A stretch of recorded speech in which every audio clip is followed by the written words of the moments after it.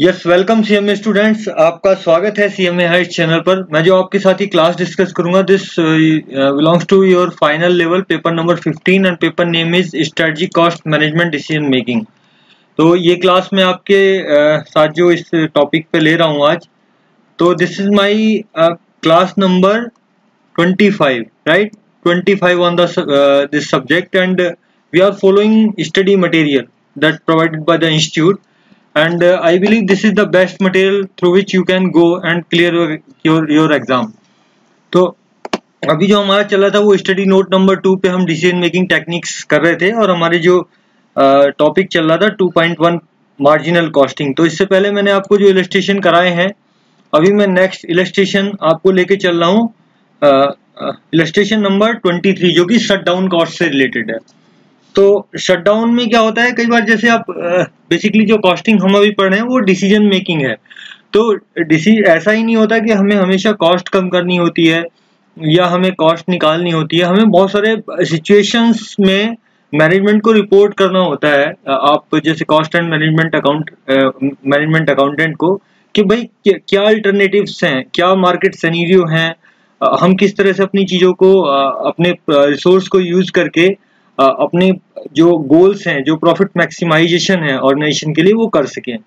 तो शटडाउन में एक तरह से डिसीज़न मेकिंग है बेसिकली शटडाउन के कोई जैसे अब, अब किसी प्रोसेस को चलाया जाए या बंद कर दिया जाए। तो कई बार बंद ऐसा नहीं कि काम करने में ही फ़ायदा होता कई बार काम ना करने में भी फ़ायदा होता। मीन्स के अगर हम किसी प्रोसेस या ऑपरेशन को अगर डिसकंटिन्यू करते हैं या शट डाउन कर देते हैं शट डाउन मतलब बंद कर देते हैं तो उससे हमारी प्रॉफिटेबिलिटी बढ़ जाती है कई बार। तो मान लीजिए जैसे इस इस सवाल को पढ़ते हैं तो मैं आपको लेके चलता हूँ इस सवाल को। H G limited produces four product in its factory the volume of production and the sale achieve is considerably lower than the normal and uh, and so there has been a substantial under recovery over overhead. The sales and the cost particular are as under तो इनका क्या है? Multiple product में deal कर रहे हैं, जिसमें इन्होंने ये पाया कि अभी जो इनका नॉर्मल कैपेसिटी लेवल से जो है, वो इनकी सेल्स काफ़ी कम है। जिससे इनका क्या हो रहा है? ये अंडर जो है अंडर रिकवर हो जा रहे हैं ओवरहेड मींस इनकी कहीं पे कहीं ना कहीं ऑपरेशनल इश्यूज़ हैं। तो अब इसमें सवाल को देखते हैं, जैसे इन्होंने चार प्रोडक्ट में डील करते हैं ए बी सी डी जिससे इन्होंने इसकी सेल दी हुई है, जो कि लैक्स में है। 160 200 80 40 and this is the total of all these columns cost का स्ट्रक्चर दिया हुआ है। कॉस्ट के स्ट्रक्चर में आप देखिए क्या दिया हुआ है। कॉस्ट के स्ट्रक्चर में आपका डायरेक्ट मटेरियल है। डायरेक्ट मटेरियल में ये लैक्स में वैल्यूज़ हैं। मतलब for particular product A they they uses material of rupee twenty four lakhs 32 lakhs 16 lakhs 3 lakh respectively and this is nothing but the sum total of all these three uh, four columns direct wages uh, जो है इनके 40 48 32 8 ये भी सम आ गया इधर factory overheads जो हैं 48 64 48 this again some selling and administrative जो कि इन्होंने सेलिंग एंड एडमिनिस्ट्रेटिव जो ये है ये 15 परसेंट ऑफ़ सेल्स है तो यहाँ पे ये आपको लग रहा होगा कि ये वेरिएबल है, लेकिन एग्जैक्टली ये वेरिएबल नहीं है, ये this the fix fix amount of that particular sale तो if you calculate this comes to 60 आप अगर करेंगे इसमें, अगर आप, मैं मैं कहूँ तो आप देखेंगे this is 160 sixty into point तो this comes to 24 right right? तो आपका ये 15 परसेंट है इस सेल वैल्यू का मतलब अगर मैं इस इस रो को आपके साथ डिस्कस करूँ तो this 30 is 15 percent of 200 Similarly, 12 is 15 uh, percent of 80. So this is the basically this simply they apportion it selling and administrative expenses.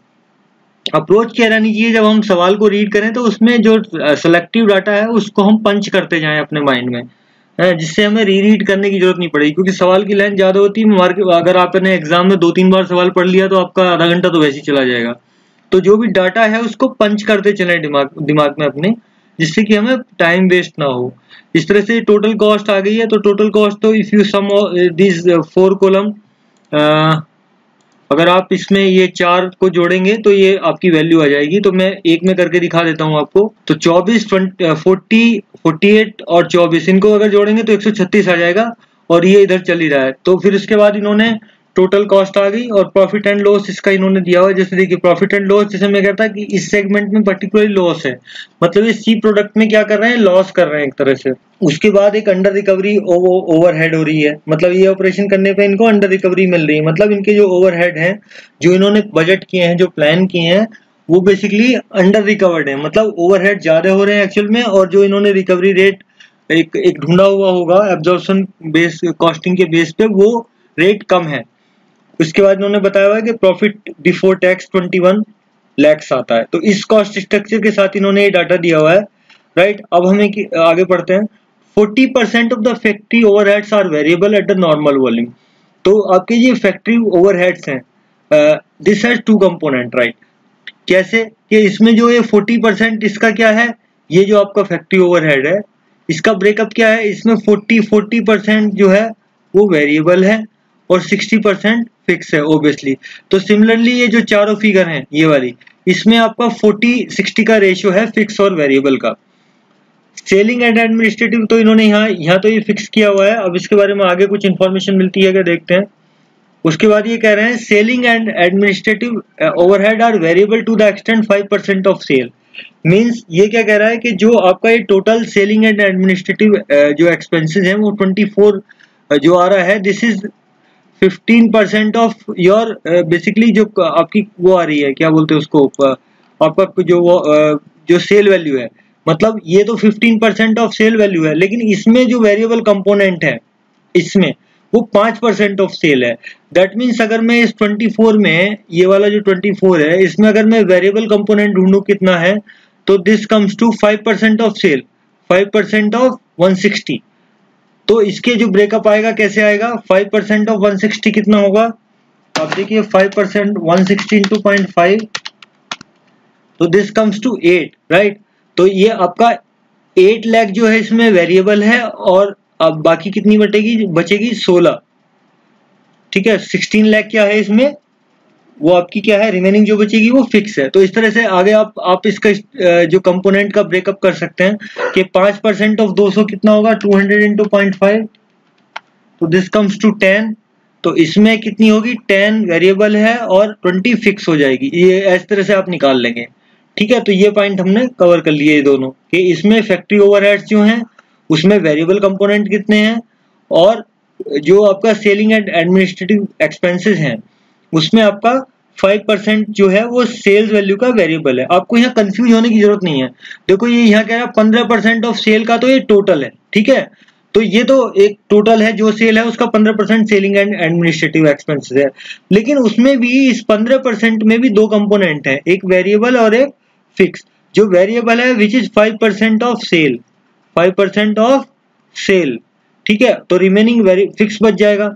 तो ऐसे आप इस तरह से इसका ब्रेकअप निकाल सकते हैं आगे। अच्छा ये तो ये बात हो गई। अब ये क्या कहता है? Twenty percent of sale of the product C are done in connection with the product A in as much as as the discontinuance of the product will bring down the sale of product A by ten percent अब इस line का क्या मतलब? इसको ध्यान से समझिए। इस लाइन का क्या मतलब है? ये मैं आपको समझा दे रहा हूँ। देखो, ये कह रहा है कि जो प्रोडक्ट ए और प्रोडक्ट सी हैं, उनकी सेल आपस में एक तरह से इंटरकनेक्टेड है। मतलब कह रहा है कि ए के बिकने की वजह से 20 परसेंट सेल सी की होती है। मतलब अगर ए के वॉल्यूम में हम सेल में आ, कुछ अफेक्ट करेंगे तो ये भी अफेक्ट होगी। 20 परसेंट सेलिंग जो हो रही है सी प्रोडक्ट की वो ए की वजह से हो रही है। और ए और सी आपस में इस तरह से रिलेटेड है कि अगर सी प्रोडक्ट को बंद कर दिया जाए तो ए प्रोडक्ट की सेल 10 परसेंट से डाउन हो जाएगी। अब इसको, आपको स्टेटमेंट को कॉरिलेट करना है बहुत ध्यान से। देखो 20 परसेंट सेल जो है सी की, वो होती है ए प्रोडक्ट की वजह से। मतलब नॉर्मल नॉर्मल लेवल पे अगर आप ए बिक रहा है और सी बिक रहा है तो वो 20 परसेंट सी जो बिक रहा है, वो ए की वजह से बिक रहा है। और अगर सी को बंद कर दिया जाए सी प्रोडक्ट को कर दिया जाए बंद तो ए प्रोडक्ट की सेल डाउन हो जाएगी 10 परसेंट से। तो इस तरह का एक, ये इनका बिहेवियर है सेलिंग का मतलब एक तरह से। दोनों में क्या रिलेशन है? अच्छा alternatively the sale of the product C can be reduce twenty percent of the present level to maintain the product of A कह रहा अगर सी की जो है, हम सेल को 20 परसेंट घटा दें सी की जो सेल है 20 परसेंट की सेल से उसको घटा देंगे तो ए की सेल पे कोई फ़र्क नहीं पड़ेगा। ये कैसी हो जाएगी? अनचेंज हो जाएगी। तो ये इन्होंने बताया है सेल का डाटा कि ये आपस में कैसे इंटरलिंक्ड है। इस पॉइंट को आप दोबारा से समझ लें। देखो, मैं इतनी बात को आपको दोबारा से बता देता हूँ, क्योंकि ये ये चीज़ें आपको यूज़ करनी है सवाल में। ये कह रहा है कि ए और सी देखो ए और सी आपस में रिलेटेड प्रोडक्ट हैं सेल के टर्म में। मतलब ये क्या कहता है कि इसकी जो ट्वेंटी परसेंट सेल है, वो ए की वजह से होती है, ठीक है? ए बिकने की वजह से। और अगर सी की सेल को बिल्कुल बंद कर दिया जाए तो ए की जो सेल है वो दस परसेंट ड्रॉप हो जाएगी टेन परसेंट ड्रॉप हो जाएगी, ठीक है? ये ये बता रहा है आपका टेन परसेंट सेल आपकी ड्रॉप हो जाएगी। और अगर कह रहा है कि सी की जो सेल है, उसमें अगर हम ट्वेंटी परसेंट का रिडक्शन करें, ठीक है? तो ए की जो सेल है, उस पर कोई फ़र्क नहीं पड़ेगा, ये अनचेंज रहेगी। तो ये तीन स्टेटमेंट इससे निकल के आ गई इतनी बात से, ठीक है? अच्छा। अब in view of the loss reported for the product C the management has for consideration three proposal अब इन चीज़ों को चूँकि हमारा जो सी प्रोडक्ट है लॉस कर रहा है, है तो मैनेजमेंट तीन बातें सोच रही है। क्या सोच रही है? कि डिसकंटिन्यू कर दो प्रोडक्ट सी को। In that event the cost can be save a sum of eight lakh rupees per annum in fix expenses कह रहे कि आप सी की सेल को बंद कर दो। सी को बंद कर दो बनाना तो उससे आपको फिक्स कॉस्ट में भी सेविंग हो जाएगी। ठीक है? तो अब इसमें आपको यहाँ देखना पड़ेगा कि ये वाला discontinuation of the C will bring down the product of product sale of product A by ten percent तो ये वाला जो, ये वाला जो है ना, ये एप्लीकेबल हो जाएगा इस केस में। ये वाला जो, ये वाला जो सेंटेंस है ना, इतना, ये वाला। ठीक है? ये वाला जो आपका ये रहा। ये ये इसमें आ जाएगा कि डिसकंटिन्यू अगर प्रोडक्ट सी को कर दो तो उससे क्या होगा? सेल जो है सॉरी फिक्स कॉस्ट आठ लाख कम हो जाएगी। तो एक ये प्रपोजल आया। तो आपको जब इवेलुएट करना पड़ेगा सी को बंद करना पड़ेगा तो उससे एक ही प्रोडक्ट की सेल को भी घटाना पड़ेगा वहाँ पे। तो ये रिलेशन आपको ध्यान में रखने पड़ेंगे। अच्छा। Maintain the sale of the product to the extent twenty percent of the present value अब क्या है? ट्वेंटी परसेंट अगर आप प्रेजेंट वैल्यू पे अगर रिड्यूस करते हैं, जैसे हम बीस परसेंट तक लाते हैं तो एक ही सेहत पे कोई फ़र्क नहीं पड़ेगा। तो फिर ये वाला सेंटेंस एप्लीकेबल हो जाएगा इसमें। ठीक है, ये वाला, दूसरे प्रपोजल में। यहाँ वाला ये। ये सेंटेंस एप्लीकेबल हो गया इसमें। तो इससे क्या होगा? ऐसा करने से, ऐसा करने से क्या होगा कि प्रेजेंट लेवल सेल का मेंटेन रहेगा, जैसे इसने बताया भी है। In that event the reduction of fix expenses will be तीन लाख रुपए पर एनम तो इस इस केस में इस तरह से ये चलेगा। अच्छा। आगे चलते हैं। और तीसरा प्रपोजल क्या है कि पूरा सी बंद पूरा कर दो और डी की सेल को डिमांड में डबल डबल कर दो। ये कह रहा है कि discontinue product C totally and increase the sale of product D for with the demand is available to the extend another 40 lakhs this can be done without any change in the fix expenses तीसरा proposal क्या है कि सी को बंद कर दो। जब सी को आप बंद करोगे तो आपका फिर यही वाली चीज़ एप्लीकेबल हो जाएगी, यहाँ वाली जो मैंने आपको बताई थी। ये वाला ये वाला एप्लीकेबल हो जाएगा। और कह रहा है डी डी जो है डी की अभी प्रेजेंट सेल फोर्टी है, कह रहा है उसकी सेल फोर्टी और बढ़ सकती है। ठीक है? लेकिन उससे ऐसा करने से आपको चेंज नहीं होगा फिक्स एक्सपेंसेस में कोई फ़र्क नहीं पड़ेगा, कोई फ़ायदा नहीं होता। तो ये क्या कहता है? Draft a report to the management जो आपका काम होगा, जो कॉस्ट एंड मैनेजमेंट बताएँगे करके। वो क्या बताएँगे? मैनेजमेंट को गाइड करते हैं। मैनेजमेंट अकाउंटिंग क्या होती है? To guide the management what to do और इसीलिए आपका ये डिसीज़न मेकिंग इसका नाम रखा गया है। ये बहुत इंपॉर्टेंट पेपर है कॉस्ट कॉस्ट अकाउंटेंट्स के लिए। तो वो कह रहा है कि draft proposal to the management bringing out the financial implication of the aforesaid three proposal as compare with the annual operating result generating a profit before 21 lakh भाई, अभी हम 21 लाख बता रहे हैं, बना रहे हैं प्रॉफिट इतने सब में करने के बाद भी लॉस वॉस करने के बाद भी।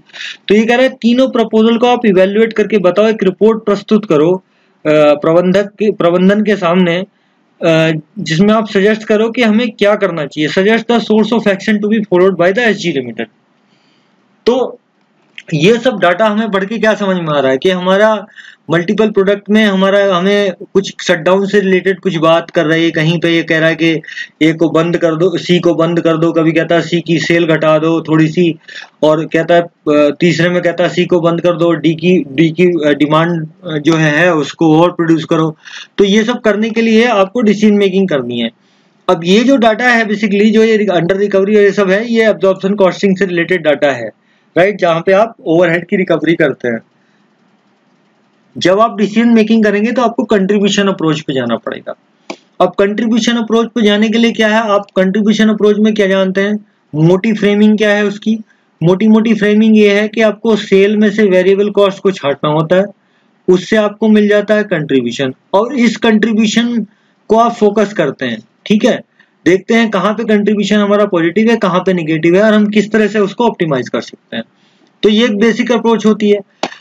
अब इस केस में देखिए इस केस में कंट्रीब्यूशन कैसे आएगा? देखो सेल की वैल्यू दी हुई है डायरेक्ट मटेरियल दिया हुआ है इसमें कोई दिक्कत नहीं डायरेक्ट वेजेस भी दिए हुए हैं फैक्ट्री ओवरहेड्स अब देखो फैक्ट्री ओवरहेड्स में आपको यहाँ वेरिएबल कंपोनेंट छाटने पड़ेंगे जो मैंने छाट के आपको बताए थे।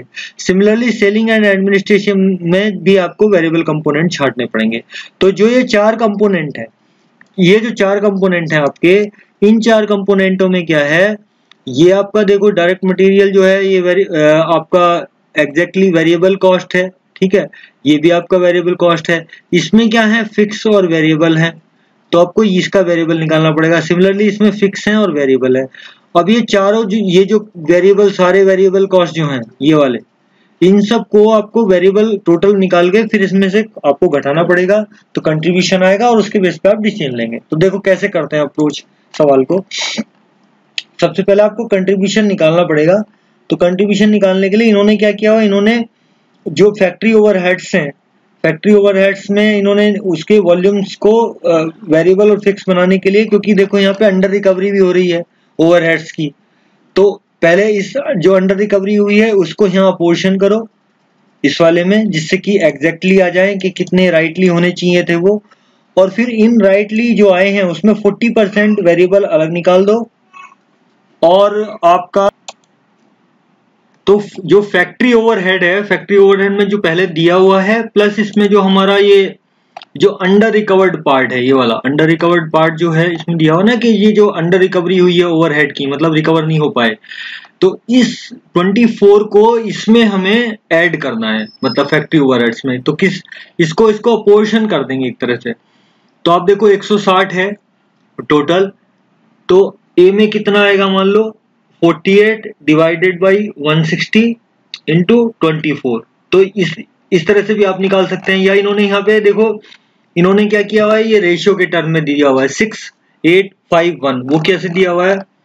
तो आप देखोगे तो ये, इन्होंने जो दिया हुआ है, वो इसका एक रेशियो निकाला हुआ है सिक्स एट फाइव वन मतलब एट से सारों को डिवाइड कर दिया तो ये ये जो रेशियो है, ये आ जाएगा। ठीक है? ये रेशियो आपका जो आ रहा है ना eight eight six eight five one ये आ रहा है। अदरवाइज़ आप ऐसे भी कर सकते हो, जैसे मैंने आपको बताया कि जो आपका टोटल 160 है ना, और 160 जो टोटल ओवरहेड है आपका, और इसमें कितना है? 48 तो 48 डिवाइडेड बाय 160 सिक्सटी इंटू तो क्या आंसर आएगा? जैसे इसके लिए देखें हम ए के लिए क्या आंसर आना चाहिए? ए के लिए आंसर आना चाहिए आपका आ, ये आंसर आएगा 48 48 डिवाइडेड बाय 160 सिक्सटी इंटू तो this comes to 7.2 right this comes to 7.2 जो इन्होंने यहाँ दिया हुआ है। सिमिलरली आप अलग अलग भी कर सकते हैं। जैसे इसके लिए अगर निकालना हो, मान लो बी के लिए क्या आंसर आएगा? बी के लिए आएगा 64 बी के लिए क्या आएगा? 64 डिवाइडेड बाई मैं करके बता देता हूँ, ये कैसे निकालेंगे? बी के लिए क्या क्या पोर्शन आएगा? इस 24 का क्या रेशो क्या रेशो इसमें जाएगा? वो मैं आपको बता दे रहा हूँ करके।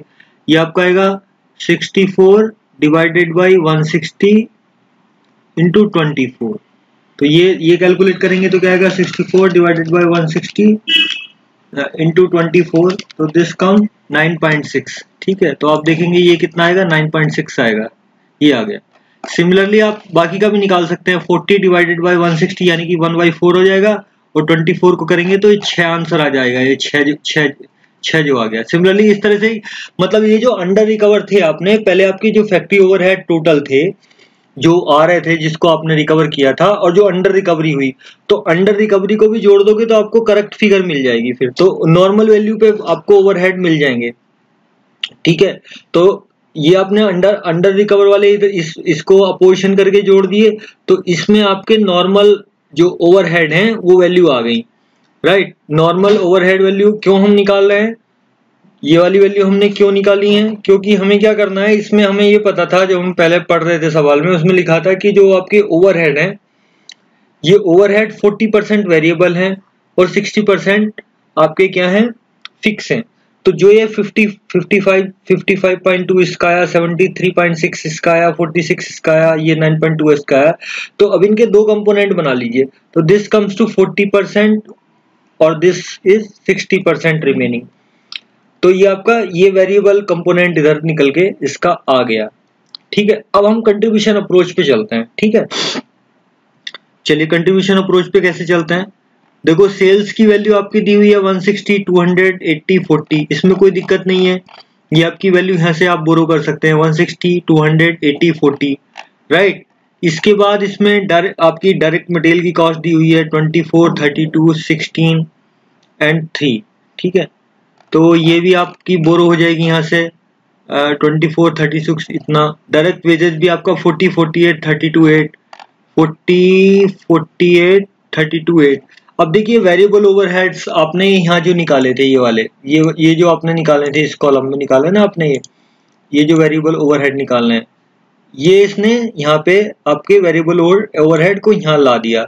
क्यों लाया? क्योंकि कंट्रीब्यूशन निकालना चाहता है। आपके पास तो डाटा जो दे रखा था, उसको वेरिएबल और फिक्स में सेग्रीगेट करना है। तो ये जो हमने वेरिएबल ओवरहेड निकाले, वो वेरिएबल ओवरहेड यहाँ आ गए। और variable selling and distribution overhead जो आप निकालने वो कैसे निकालने हैं? कि बेसिकली वो बता भी रहा था आपका कि आपका five percent selling and distribution जो है, वो आपका वेरिएबल है। हैं? जो आपको यहाँ से मिल रहा था डायरेक्टली ये वाला। ठीक है? ये वाला जो आपको मिल रहा था।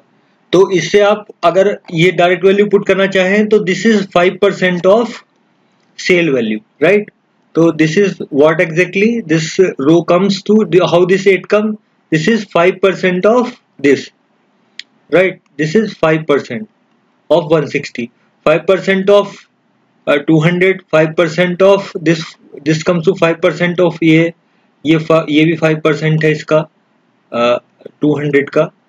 Similarly 5% of 40 comes to 2 तो by this you can calculate your uh, total variable cost. Means direct material direct labor और आपका ये uh, मतलब डायरेक्ट मटेरियल डायरेक्ट लेबर आपका वेरिएबल ओवरहेड हमने छांट लिए और सेलिंग एंड ये आपके जो डिस्ट्रीब्यूशन ओवरहेड हैं ये इसमें रेशियो दिया हुआ है वहाँ पे फाइव परसेंट है। तो इससे आपकी ये वेरिएबल कॉस्ट आ गई ठीक है? ये वेरिएबल कॉस्ट टोटल आ गई। इन सबको जोड़ने के बाद। तो अब कंट्रीब्यूशन कैसे आएगा? कंट्रीब्यूशन आपका सेल माइनस ये जो आपने टोटल वेरिएबल कॉस्ट निकाली, यानी कि सेल माइनस वेरिएबल कॉस्ट जो आपने निकाली, इससे आपने कंट्रीब्यूशन आ गया ये आपका इंडिविजुअल प्रोडक्ट का।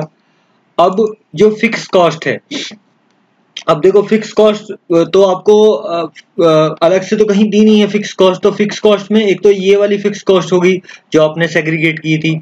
तो ये फिक्स ओवरहेड तो ये हो गए फिक्स कॉस्ट कैसे निकालेंगे? फिक्स ओवरहेड ये हो गए।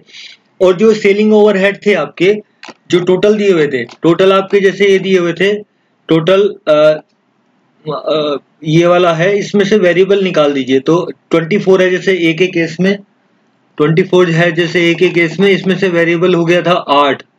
ठीक है? तो जब आठ वेरिएबल हो गया तो रिमेनिंग कितना बचेगा? 16 ये जो आपका, इसका ब्रेकअप है, ये ये जो है, इसमें आपका 24 था, जो 24 था, जिसमें से क्या था, आपका आठ तो वेरिएबल आपने ये निकाल दिया था तो रिमेनिंग कितना बच गया, सोलह बच गया। सिमिलरली आप यहाँ आ जाएँगे तो आपने दस यहाँ निकाल दिया था आपका दस ही आ गया था तो दस ये हो जाएगा। आपका सॉरी तीस होगा ये टोटल अगर आप देखेंगे तो ऊपर तीस लिखा होगा फिर ये। इसमें अगर देखेंगे यस ये तीस लिखा हुआ है। तो इस तरह से ये निकाल सकते हैं। सारे variable selling and distribution overhead निकल जाएँगे। फिर आपका ये ये आपकी टोटल फिक्स कॉस्ट हो जाएगी कंपोनेंट वाइज इस इस रो में।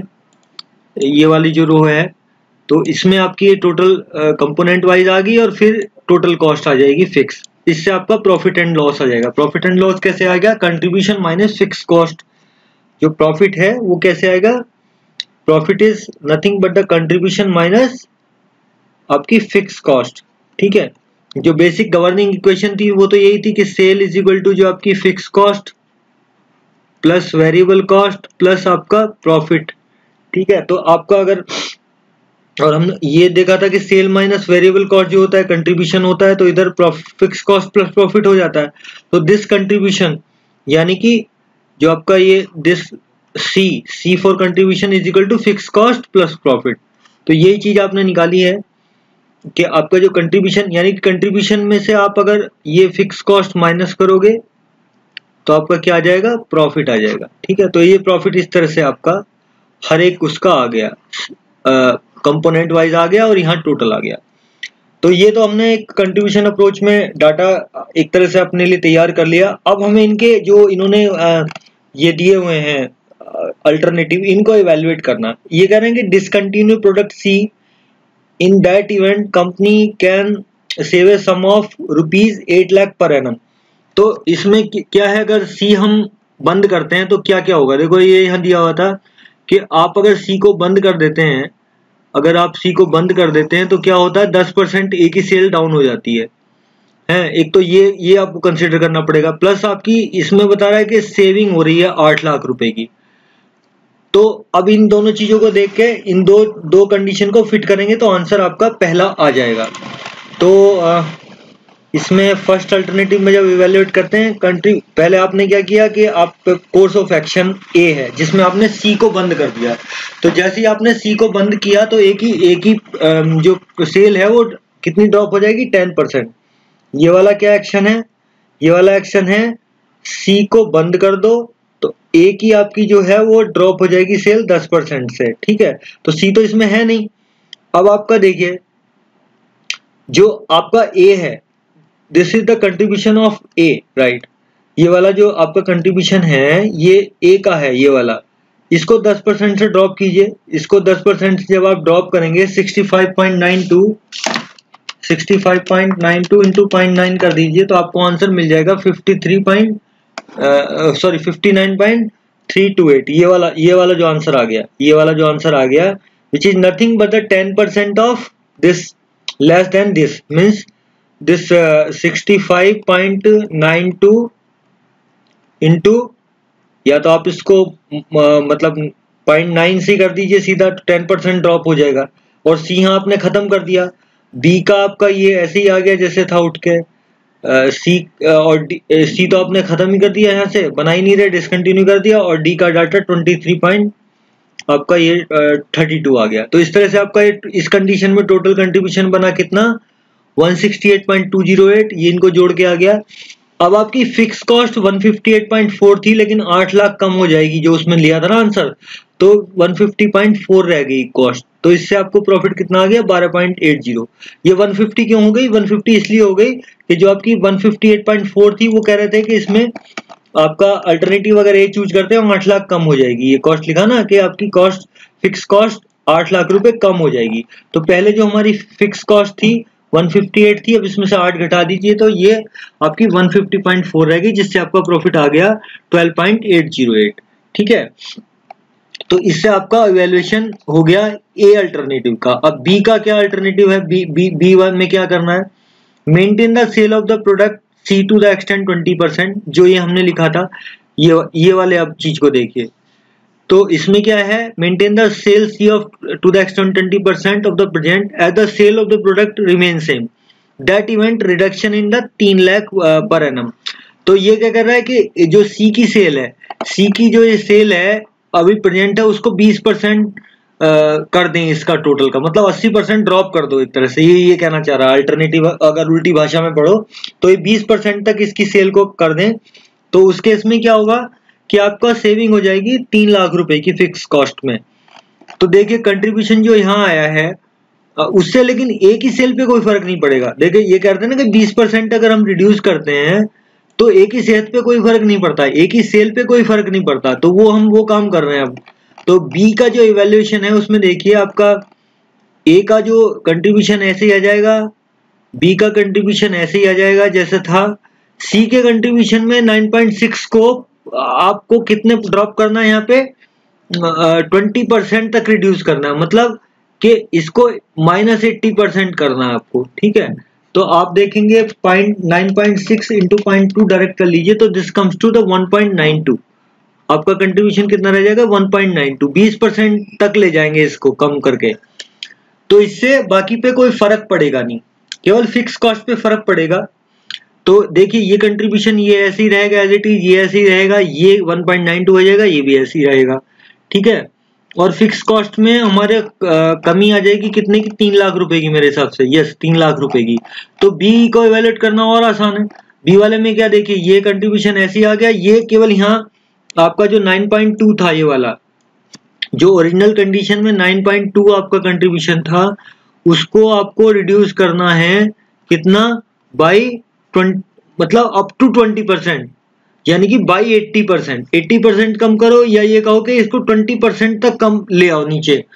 तो इसका ट्वेंटी परसेंट कितना हो गया? One nine point two into point two तो दिस कम्स टू आपका तो दिस कम्स टू आपका क्या 9.2 था? क्या था वो? 9.2 नहीं था आई थिंक 9.6 था यस 9.6 था। तो आप ये 9.6 को अगर पॉइंट टू से करेंगे 9.6 इंटू पॉइंट टू तो this will come again there is no change तो इससे आपका टोटल कंट्रीब्यूशन आ गया। और आपका जो फिक्स कॉस्ट आ रही थी ओरिजिनली इट वाज द 158.4 और ये सब करने से आपको तीन जो है लैक की सेविंग हो गई। तो आपकी एक आ गई। ये आपकी फिक्स कॉस्ट हो गई। तो जब आप कंट्रीब्यूशन माइनस फिक्स कॉस्ट करेंगे तो प्रॉफिट आपको मिल जाएगा। अब अल्टरनेटिव सी को देखते हैं। अल्टरनेटिव सी में क्या करना है हमें?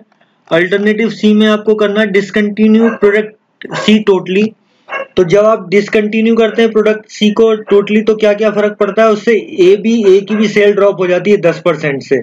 और कह रहा है the sale of product D for which demand is available to the extend another forty lakh मतलब देखिए, आप देखिए, पहले आपकी सेल 40 हो रही थी 40 की और गुंजाइश है। तो कंट्रीब्यूशन क्या होगा? एग्जैक्टली exactly डबल हो जाएगा इस केस में। भाई, आपकी प्रेजेंट सेल जो है 40 लैख है। अब ये कह रहा है कि सी को तो पूरा बंद कर दो तो सी को बंद करने से क्या क्या फ़र्क पड़ेगा? एक तो ए की कॉस्ट जो है ये यहाँ लिखा हुआ ना ए की सॉरी ए की सेल नॉट कॉस्ट ए की सेल जो है दस परसेंट रिड्यूस हो जाएगी सी बिल्कुल खत्म हो जाएगा। और कह रहा है कि जो ये डी है डी की जो आ, सेल है वो और बढ़ा दो। फोर्टी मतलब फोर्टी प्लस फोर्टी एट्टी कर दो। तो देखो इससे क्या फ़र्क पड़ेगा? देखो, इसमें सी में आपका कंट्रीब्यूशन तो यही आ जाएगा, दस परसेंट तो यहाँ ड्रॉप हो जाएगा। जब आप सी बंद करोगे तो दस परसेंट ड्रॉप होने पे ए का कितना बचेगा? Contribution fifty nine point three two eight अच्छा बी की बी में कोई फ़र्क नहीं सी बिल्कुल खत्म हो गया और डी का एग्जैक्टली डबल हो जाएगा। भाई, आपको डबल क्यों हो जाएगा यहाँ? क्योंकि देखो, ये कंट्रीब्यूशन जो आ रहा है, ये कंट्रीब्यूशन आ रहा है आपका चालीस लाख की सेल पे। ये कंट्रीब्यूशन कितने रहा है? चालीस लाख की सेल पे। अभी कह रहा है, चालीस लाख की सेल और बढ़ा दो। तो ये कंट्रीब्यूशन एग्जैक्टली टू टाइम्स हो जाएगा। तो ये आपका टू टाइम्स हो गया मतलब 46.64 इसका जस्ट डबल हो गया, क्योंकि सेल डबल हो गई। तो इस केस में आपका टोटल कंट्रीब्यूशन क्या हो गया? 186.528 और कह रहे हैं फिक्स कॉस्ट पे कोई असर नहीं पड़ेगा। फिक्स कॉस्ट पे there is no change no change no change तो उसमें फिर आपकी प्रॉफिट हो गई। Twenty eight point one two eight तो देखो, अब तीनों में से आपका, आपको सजेस्ट करना है, आप मैनेजमेंट अकाउंटेंट थे यहाँ पे तो आप बताइए हमें 21 मिल रहा था प्रॉफिट पहले पहले हमें जो है जो प्रॉफिट आ रहा था दिस दिस वाज कमिंग 20.56 है? तो बताओ, इसको करें, इसको तो करना कोई फ़ायदेमंद नहीं है तो और कम हो गया हमारा प्रॉफिट इसको करें, इससे भी कम हो रहा है, केवल इससे ज़्यादा हो रहा है तो सी को आप चूज़ कर लीजिए। फ्रॉम द वो computation it was found that the profit is more in selecting the course of this alternative C या ऑप्शन सी या एक्शन सी जो भी है discontinuing the product C completely and increasing the sale of the product D at 100% is the best course of action suggested. तो इन तीनों alternatives में से best best कौन सा है ये सी वाला ठीक है? आई बिलीव आपको समझ में आ गया होगा सवाल। uh, कोई ऐसी तकलीफ़ है नहीं इसमें बस जस्ट आपको डाटा को कलेक्ट करना है और कंट्रीब्यूशन अप्रोच में डाल के उसको फिक्स करना है। ठीक है? नेक्स्ट सवाल की मूव तरफ़ मूव करते हैं जो कि आपका इलेस्ट्रेशन नंबर 24 है मेक एंड बाई से रिलेटेड है। मेक एंड बाई में मतलब क्या है कि आप कोई सामान खुद बनाएँ या फिर कोई बाहर से खरीद लें? कौन सा आपको ऑप्शन अच्छा रहेगा? ये इसमें एवेल्युएट करना होता है। तो सवाल को पढ़ते हैं TTD limited manufacturing a single product has the normal working capacity of eight eight thousand unit per annum इनकी जो मैन्युफैक्चरिंग कैपेसिटी है नॉर्मल वर्किंग कैपेसिटी वो आठ हज़ार यूनिट की है साल भर की। The sale manager had projected a sale of sale of uh, 10,000 unit for year 15-16 मतलब इनकी अगले साल की जो प्रोजेक्शन है सेल्स मैनेजर की वो दस हज़ार यूनिट की है। अभी जो वर्किंग कैपेसिटी चल रही है वो आठ हज़ार यूनिट की है। और जो सेल प्राइस रहेगा वो 250 यूनिट दो सौ पचास रुपए पर यूनिट रहेगा। The operating budget for 15-16 is as below sales अगर आप करेंगे 8000 यूनिट क्योंकि नॉर्मल कैपेसिटी है ढाई सौ रुपये पर यूनिट के हिसाब से तो आपकी 20 लाख की सेल आएगी, जिसके करस्पॉन्डिंग ये कॉस्ट का स्ट्रक्चर दिया हुआ है, ठीक है? तो इस कॉस्ट के स्ट्रक्चर में क्या दिया हुआ है? रॉ मटेरियल बारह लाख का लगेगा डायरेक्ट वेजेस तीन लाख के लगेंगे वर्क ओवरहेड जो कि 50 परसेंट फिक्स हैं और 50 परसेंट आपके वेरिएबल हैं। एडमिनिस्ट्रेटिव ओवरहेड ऑल फिक्स हैं, जो कि 0.6 लाख हैं। और selling and distribution overhead 80 percent fix हैं और बाकी यानी कि 20 परसेंट वेरिएबल होंगे, वो एक लाख हैं। तो इस तरह से टोटल आपका 18 लाख कॉस्ट आती है तो 20 माइनस अट्ठारह, दो लाख का आपका प्रॉफिट है। ठीक है तो ये इन्होंने एक डाटा दिया हुआ है। In order to increase the production to meet the sale demand to proposal क्योंकि देखो, आपकी अगले साल जो डिमांड है, वो दस दस हज़ार यूनिट की है बट नॉर्मल वर्किंग कैपेसिटी आठ हज़ार यूनिट है। तो जो ये दो हज़ार यूनिट की कमी है, उसको कैसे करेंगे, उसके इन्होंने दो प्रपोजल बताए हैं। एक तो आप subcontracting the production of two two thousand unit जो कि दो सौ के भाव पे आपको बाज़ार में मिल जाएगी। सब कॉन्ट्रैक्टिंग मतलब किसी किसी को बाहर से आप ठेका दे दो कि हमें भैया ये यूनिट सप्लाई कर देना 2000 यूनिट जो कि हम दो सौ की तुमसे खरीद लेंगे और हम ढाई सौ की एक यूनिट बेच देंगे। और दूसरा प्रपोजल ये है कि एक additional installing additional machine which will entail the following expenses एक नई मशीन इंस्टॉल कर रहे हैं तो उसके क्या एक्सपेंसेस रहेंगे? कॉस्ट मशीन दो लाख रुपए की आएगी, जो जो कि 20 साल चलेगी। उसके लिए क्या करना पड़ेगा उसके बाद? Recruitment of ten workers including direct workers to operate the machine जो ये नई मशीन खरीदेंगे। एट ए जिसका at a wage rate of five hundred रुपए पर मंथ दस वर्कर लगाने पड़ेंगे आपको, जो कि पाँच सौ रुपये पर मंथ के हिसाब से लेंगे। और उनके 25 परसेंट आपके फ्रिंज बेनिफिट फ्रिंज बेनिफिट मतलब क्या है? फ्रिंज बेनिफिट मतलब उनके दूसरे जो, दूसरे बेनिफिट उनको मिलते हैं, ये तो उनकी सैलरी सैलरी रहेगी, उसके अलावा जो उनके और दूसरे खर्चे बनेंगे फ्रिंज बेनिफिट जो चाय, पानी, वर्दी, जूता, ये सब और जो भी जो भी उनके सराउंडिंग बेनिफिट बनेंगे, वो फ्रिंज बेनिफिट आपके 25 percent of this wage cost रहेगी। None of the existing worker will be utilize for this purpose ये कह रहे हैं कि जो हमारा एग्जिस्टिंग लेबर ये है ना, ऊपर में जिसकी कॉस्ट आपकी जो आ रही है ये तीन लाख रुपए आ रही है वेजेस की। कह रहा है, ये वाली ये लेबर यूज़ नहीं हो सकती। मतलब ये एक एडिशनल खर्चा हो गया प्योरली आपके लिए। उसके अलावा interest on the capital required for purchase of machine पंद्रह परसेंट पर एन तो अब ये दो लाख रुपए की जो मशीन लेंगे, ये पैसा है नहीं, ये आपको लोन लेना पड़ेगा, जिसकी कॉस्ट रहेगी पंद्रह परसेंट जो है आपकी कैपिटल कॉस्ट रहेगी। The following additional fix expenses will be required in respect of the both alternative कह रहे चाहे, ये अल्टरनेटिव वन लगाएँ या टू लगाएँ, हमारी ये एडिशनल कॉस्ट आ जाएगी। एडमिनिस्ट्रेटिव एक्सपेंसेस दस हज़ार रुपए पर ईयर हो जाएँगे। और सेलिंग एंड डिस्ट्रीब्यूशन एक्सपेंसेस जो हैं, वो आपके बीस हज़ार रुपए पर ईयर हो जाएँगे। तो ये आपके respective whether you choose one और टू ये एडिशनल खर्चे आपके हो जाएँगे। अब आपको काम क्या करना है? You are require to prepare a statement of showing the respectability profitability of two method of increasing the production. Comment upon the choice, one of the two proposal. तो आपकी जो ये दो इनके मन में विचार आ रहे हैं, इनको आपको इवेल्युएट करके मैनेजमेंट को गाइड करना है, बताना है कि भाई कौन सा अच्छा रहेगा। तो देखो, मैं सवाल को सीधे समझा देता हूँ आपको। प्रेजेंट पोजीशन आपकी दी हुई है। इसमें हमेशा आपको कंट्रीब्यूशन अप्रोच पे जाना पड़ेगा तो एक काम तो ये सेग्रीगेशन जो दिया हुआ ना, ये वाला फिक्स वेरिएबल वाला, ये हमेशा आपको ध्यान में रखना पड़ेगा कि जब आप डिसीज़न मेकिंग कर रहे होंगे तो अगर इस तरह से कोई स्ट्रक्चर दिया है, जैसे आपका ये ये इन्होंने दिया है कि भाई ये 50 परसेंट फिक्स है, यानी कि पॉइंट सेवन आपका वेरिएबल है पॉइंट सेवन फिक्स होगा, ठीक है? सिमिलरली इन्होंने दिया है 80 परसेंट फिक्स है तो एक में कितने हो गए? पॉइंट टू आपका हो गया क्या? वेरिएबल और पॉइंट एट हो गया आपका फिक्स ठीक है? ये आपका कॉस्ट इस तरह से ये हो जाएगा। तो वेरिएबल वेरिएबल जैसे ये प्योरली वेरिएबल कॉस्ट है रॉ मटेरियल ये भी आपकी डायरेक्ट वेजेज रॉ मटेरियल है। इसमें आपकी पॉइंट सेवन जो है आपकी fix overhead point seven lakh हो गई। और ये तो फिक्स ही है इसमें ये वेरिएबल आपको ढूंढना है तो ये आपकी आ गई पॉइंट टू ठीक है? पॉइंट टू और पॉइंट सेवन आपकी वेरिएबल कॉस्ट ये हो गई और ये तो वेरिएबल डायरेक्ट ही है। तो ये ये सारी वेरिएबल कॉस्ट जोड़ देंगे इसको सेल्स में से सेल्स में से वेरिएबल कॉस्ट निकाल देंगे तो कंट्रीब्यूशन आ जाएगा, फिर कंट्रीब्यूशन में से फिक्स कॉस्ट निकाल देंगे तो आपका क्या आ जाएगा? प्रॉफिट आ जाएगा। ठीक है? तो अब इवेल्युएट करने हैं। तो पहले तो ये एग्जिस्टिंग सिस्टम जो आपका है, दो प्रपोजल है सब, एक तो प्रेजेंट पोजीशन क्या है आपकी? 8000 यूनिट पे ऑपरेट कर रहे हैं। दूसरा सब कॉन्ट्रैक्ट करेंगे 2000 यूनिट तो 10000 बनेगा और तीसरा अपनी एक नई मशीन लगा लेंगे। जिसके कुछ डाटा उन्होंने दिए हुए थे। तो पहले मैं सबसे पहले एग्जिस्टिंग पोजीशन को आपको वैल्यूएट करके बता रहा हूँ। तो आपका देखो एग्जिस्टिंग पोजीशन में सेल आपकी 8000 यूनिट पे 20 लाख रुपए है, ठीक है?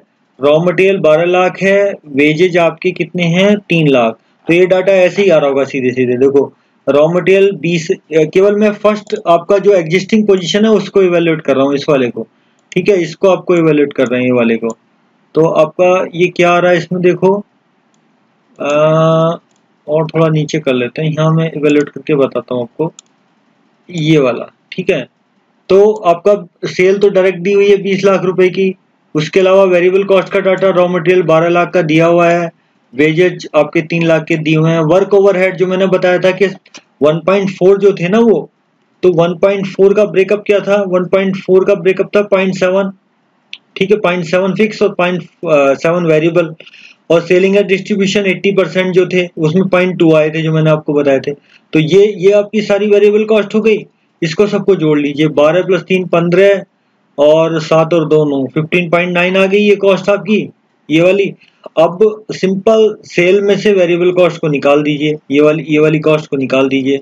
तो आपके पास कंट्रीब्यूशन रह गया, यानी कि 20 minus fifteen point nine this comes to 4.1 and your fix cost is 2.1 ये भी दी हुई है। फिक्स कॉस्ट 2.1 कैसे दी हुई है? कि आप देखो, आपकी पॉइंट सेवन ये थी और पॉइंट एट ये थी। तो पॉइंट सेवन और पॉइंट एट कितनी हो गई आपकी? ये point seven and point eight point seven and plus point eight तो ये एक तो ये हो गई आपकी वन पॉइंट फाइव और एक उन्होंने शायद और भी दी हुई थी। ये पॉइंट सिक्स तो ये, इसमें से कितनी कितनी फिक्स कॉस्ट आएगी? इसमें से अगर निकालेंगे ये ये जो आपका है, ये वाला, इसमें से आपकी कितनी फिक्स कॉस्ट आएगी? देखो, इसमें से आएगी आपकी पॉइंट सेवन मतलब आधी आधी आधी आएगी, और ये तो पूरी फिक्स है। अब मैं फिक्स निकाल रहा हूँ पॉइंट सेवन पॉइंट सेवन और पॉइंट एट तो ये कितनी आएगी? Point seven point six and point eight point seven plus point six plus point eight तो this comes to two point one तो ये टू ये जो कॉस्ट आई है आपकी, ये ये फिक्स कॉस्ट इन कंपोनेंट्स की टू पॉइंट वन है। तो ये टू पॉइंट वन इन्होंने यहाँ आगे रखी होगी कहीं पर। ये टू पॉइंट वन की तो four point one total contribution में आपने 2.1 कर लिया क्या? फिक्स कॉस्ट तो आपका टू लैख जो बन गया प्रॉफिट बन गया। अब सब कॉन्ट्रैक्टिंग वाले केस में चलते हैं। देखो सब कॉन्ट्रैक्टिंग वाले केस में आपको क्या करना था कि आपके जो ये 2000 यूनिट आएँगे ठीक है, ये 2000 यूनिट बिकेंगे ढाई सौ रुपए के भाग पे। ये तो आप सब कॉन्ट्रैक्टिंग में तो आप ये खरीद लेंगे उससे, है ना? तो आपका सारे कंपोनेंट वही रहेंगे। केवल आपका सेल का डाटा ये 25 लाख क्यों हो गया? पच्चीस लाख ये इसलिए हो गया क्योंकि पहले आप जो था, दो सौ के भाव पे आठ हज़ार यूनिट बेच रहे थे, अब आप बेचेंगे दो सौ के भाव पे दस हज़ार यूनिट। तो आपका ये पच्चीस लाख डाटा हो गया। रिमेनिंग डाटा में कोई फ़र्क नहीं आएगा क्योंकि आप तो कुछ कर ही नहीं रहे। आपने तो खाली उससे सब जो कॉन्ट्रेक्टर था, उससे सामान 225 में लिया टू टू फाइव में, और ढाई सौ रुपये में बेच दिया। तो उससे आपका, लेकिन जब सब कॉन्ट्रैक्टिंग की जो कॉस्ट आपकी है, वो अलग से आपको डालनी पड़ेगी। जो उसमें दिया था ना कि उनने ये कहा था कि हम कुछ भी करें, लेकिन हमारी जो है आपकी कॉस्ट बढ़ जाती है फिक्स कॉस्ट बढ़ जाती है, वो तो आगे देखेंगे। लेकिन सब कॉन्ट्रैक्टिंग कॉस्ट ये क्या है? ये सब कॉन्ट्रेक्टिंग कॉस्ट है कि 2000 यूनिट जो आप खरीद रहे हैं इंटू दो रुपए के भाव पे। तो ये आपका 2000 हज़ार इंटू टू टू फाइव तो दिस कम्स टू 4.5 लाख ठीक है? भाई ये आप सब कॉन्ट्रैक्टर किसी बाहर की पार्टी से खरीद रहे हैं ना ये सामान तो आपको दो दो हज़ार यूनिट के पैसे देने पड़ेंगे ना उसको। तो ये आपकी कॉस्ट आ गई। इससे आपका जो है आ, आपका ये ये सारी वेरिएबल कॉस्ट हो गई तो इससे आपका ये टोटल वेरिएबल कॉस्ट आ गई। फिर में से 25 में से 25 मतलब टोटल सेल वैल्यू में से आप वेरिएबल कॉस्ट घटा दीजिए तो आपका कंट्रीब्यूशन 4.6 आ गया। अब देखिए फिक्स कॉस्ट जो थी 2.1 तो ओरिजिनल उसमें थी, लेकिन कह रहा था कि अब ये जो कह रहा था कि आपकी कोई भी चाहे मेथड वन लगाए मेथड टू लगाए मतलब सब कॉन्ट्रैक्टिंग करें तो आपकी तीस हज़ार कॉस्ट और बढ़ जाएगी। ठीक है? दस हज़ार रुपए एडमिनिस्ट्रेटिव एक्सपेंसेस और बीस हज़ार रुपए आपके ये आपके क्या है? सेलिंग एंड डिस्ट्रीब्यूशन तो देखिए आपके 2.1 में आप पॉइंट थ्री और जोड़ दीजिए। ये फिक्स कॉस्ट क्यों बढ़ी? वो तीस, ये प्लस पॉइंट थ्री जो आपकी हो रही है ना पॉइंट थ्री मतलब ये प्लस पॉइंट थ्री मतलब तीस हज़ार रुपए जो आपके हो रहे थे ना ये ये इसको पॉइंट थ्री लिख लो, चलो। तो ये पॉइंट थ्री यहाँ जुड़ जा रहे हैं इसमें टू पॉइंट वन और पॉइंट थ्री यहाँ जुड़ जा रहे हैं। वो पॉइंट थ्री कौन से वाले हैं? ये ये जो आ रहे हैं टू पॉइंट वन से ज़्यादा जो हो रहे हैं वो ये वाले हैं आपके ए, ये वाले। ये दोनों आप अगर करेंगे तो this comes to in lakh में अगर करेंगे तो पॉइंट वन आ जाएगा ये ये आ जाएगा पॉइंट वन और ये आपका आ जाएगा पॉइंट टू तो ये मिलकर दो दो हो जाएँगे पॉइंट थ्री ये आपकी फिक्स कॉस्ट बढ़ जाएगी। ठीक है तो इससे आपने फिक्स कॉस्ट बढ़ गई तो आपका प्रॉफिट कितना आ गया? टू पॉइंट टू ठीक है। अब जो दूसरा अल्टरनेटिव है दूसरे अल्टरनेटिव में आपको मशीन खरीदनी है। तो मशीन खरीदने में क्या होगा? आपकी ये सब कॉन्ट्रेक्टिंग कॉस्ट तो जाएगी नहीं। अब अब आपके जो फिक्स जो डेप्रिसिएशन और वो सब कैलकुलेट करना पड़ेगा। तो देखिए, दस हज़ार यूनिट आपकी पूरी करने के लिए आपको क्या करना पड़ेगा? पहले तो आपका देखो सेल तो आपकी पच्चीस लाख हो जाएगी। अच्छा ये देखिए, ये बारह से पंद्रह क्यों हो रहा है? ये बारह से पंद्रह इसलिए हो रहा है कि अब आप अब आप यहाँ बना रहे हो। अब आप क्या कर रहे हैं? यहाँ पे बना रहे हैं। भाई, यहाँ पे आप सामान, यहाँ पे क्यों नहीं बढ़ रही थी ये कॉस्ट आपकी बारह से बारह क्यों रह जाती? थी क्योंकि आप सीधा ऑर्डर दे दे रहे थे बाहर से। दो सौ पच्चीस रुपए का वो आपको दे रहा था और आप ढाई सौ रुपए बेच दे रहे थे। लेकिन यहाँ ये कॉस्ट क्या हो गई? पंद्रह क्यों हो गई? क्योंकि अब आप इसको ऐसे भी निकाल सकते हो, बारह इंटू टेन बाई एट भाई, आप पहले दस हज़ार बना रहे थे सॉरी पहले पहले आप आठ हज़ार बना रहे थे और आप दस हज़ार बना रहे हो। या दस हज़ार बटे आठ हज़ार कर लो अगर आपको और और समझना आसानी, ऐसे लगती हो तो। तो ये आपका आंसर आ जाएगा ट्वेल्व इंटू तो ये आपका फिफ्टी, ये आपका आ गया आंसर। मतलब प्रोपोर्शनल प्रोपोर्नेट आपकी कॉस्ट बढ़ेगी। अच्छा लेबर कॉस्ट क्यों नहीं बढ़ रही यहाँ पे? क्योंकि आपको वो लेबर जो है लेबर आपको स्पेशल लेबर लगानी पड़ेगी वहाँ पे। वो लिखा था ना, देखो लेबर कॉस्ट यहाँ तीनों में फिक्स है। मतलब यहाँ पे, यहाँ जो 2000 को बनाने में जो आपका ब्रेकअप है ना ये, भाई 8000 तो आप पहले बना ही रहते प्लस 2000 और आपने एक नई मशीन लगाई। लेकिन इसमें, इस वाले में आपने कोई लेबर यूज़ नहीं की उसकी। इसमें ये लिखा हुआ है बात। उसने लिखा है कि देखो, कह रहा है कि none of the existing worker will be utilize for this purpose यानी कि इसके लिए आपको एडिशनल मैन पावर लगानी पड़ेगी। तो यहाँ जो वेजेस हैं वो बढ़ेंगे नहीं। ठीक है? ओके अब वर्क ओवर क्या है? अब ये एडिशनल वेजेस कहाँ बढ़ेंगे वो फिक्स कॉस्ट में यहाँ बढ़ा देंगे हम। वो मैं आपको बताऊँगा कैसे वो वाले ये वाली जो कॉस्ट है वो कहाँ बियर होगी, ये वाली कॉस्ट कहाँ जुड़ेगी, वो मैं आपको समझा दूँगा अभी। वो कैपिटल चार्ज के साथ फिक्स कॉस्ट में आगे ले जाएँगे उसको। अच्छा वर्क ओवरहेड आपके पॉइंट एट सेवन फाइव क्यों है? देखो भाई, आपके पहले क्या थे? पहले आपका ये था आप जब यहाँ थे, देखो, यहाँ थे आप तो आपकी टोटल कॉस्ट कितनी थी? 1.4 थी, है? जिसमें से सेवन आ गई। अब आपकी टोटल कॉस्ट कितनी आ रही है? आएगी। इसके हिसाब से जब आपने ये बढ़ाया तो ओवरहेड भी तो बढ़ेंगे तो 1.4 point four into ten by eight into fifty percent भाई फिफ्टी परसेंट वेरिएबल है फिफ्टी परसेंट फिक्स है तो 1.4 point four into ten one point four into ten divide by eight ठीक है? इंटू पॉइंट फाइव तो ये आपका आ गया पॉइंट एट सेवन फाइव आ जाएगा। अच्छा सेलिंग एंड डिस्ट्रीब्यूशन ओवरहेड भी आपके इसी रेशियो में बढ़ जाएँगे, क्योंकि आपका ये भी वेरिएबल है। उसमें 20 परसेंट दिखाए थे ना वेरिएबल तो पहले आपके, चाहे तो आप इसमें 20 परसेंट वैसे ही जोड़ सकते हैं। आपका ऐसा भी कर सकते हैं आप। जो आपका point two into ten divide by point two into ten divide by eight करो तो आपका ये आ जाएगा। आप इसको ऐसे भी लिख सकते हैं point two into ten divided by eight तो ये आपका टू पॉइंट फाइव आपका सेलिंग एंड डिस्ट्रीब्यूशन एडमिट आ जाएगा। अच्छा ये जो ये कॉस्ट है देखो, ये जो वर्कर आपने लगाए हैं अलग से, वो ये पॉइंट सेवन फाइव क्यों आ रही है? क्योंकि उसमें आपका पाँच सौ रुपये आपकी कॉस्ट है। दस वर्कर शायद लगाए थे और बारह महीने के लिए लगाएँगे, वो ये एक महीने की कॉस्ट थी और इसके फ्रिंज बेनिफिट जो थे I think one point two five percent थे, पच्चीस परसेंट थे शायद ना। ये कैसे निकलेगा मैं यही निकाल के दिखा दे रहा हूँ आपको। भाई ये ये आपकी कैसे आएगी? ये वाली एडिशनल वर्कर कॉस्ट कैसे आएगी? तो इसमें आपको देखो ये निकलेगी 500 सौ इंटू टेन भाई पाँच सौ पर वर्कर की कॉस्ट है दस दस वर्कर लगाएँगे और साल भर के लिए लगाएँगे तो बारह सौ गुणा करेंगे, ठीक है? इंटू और 25 परसेंट इन फ्रिंज बेनिफिट इनके जोड़ देंगे तो 1.25 तो ये देखो कितना आता है। 500 सौ इंटू दस इंटू बारह into one point two five तो this comes to this comes to seventy five thousand seventy five thousand तो और यू में से in lakh this is point seven five lakhs तो ये एडिशनल वर्कर की कॉस्ट आपकी, ये पॉइंट सेवन फाइव लैक्स आ गई। तो इस सब, ये वाली जो सारी हैं, ये वाली जो वेरिएबल कॉस्ट है, आप इसको जोड़ दीजिए। ये वाली कॉस्ट को आप जोड़ दीजिए। ये सारी कॉस्ट को तो आपकी वेरिएबल कॉस्ट अब नए हिसाब से आ जाएगी। Nineteen point eight seven five ये वेरिएबल कॉस्ट है।